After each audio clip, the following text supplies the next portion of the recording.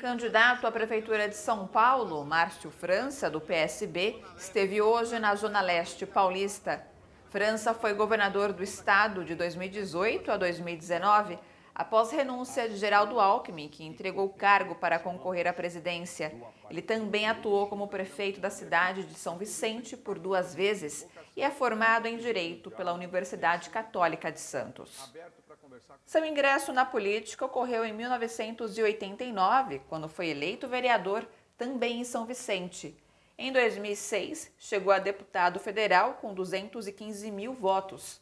Foi reeleito em 2010, quando liderou a bancada do PSB na Câmara. Tentou se reeleger governador de São Paulo em 2018, mas foi vencido por João Dória. Hoje, o candidato visitou a Zona Leste paulista, onde conversou com eleitores. É só clicar em inscrever-se e depois clicar no sininho. Pronto! Assim que pintar notícia nova, você fica sabendo no ato.